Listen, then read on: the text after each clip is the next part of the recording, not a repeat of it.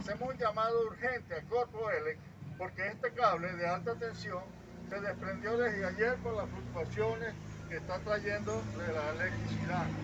Aquí hay riesgo permanente. Aquí pasan niños escolares, personas de tercera edad, adultos, que están corriendo riesgo con esto que está aquí.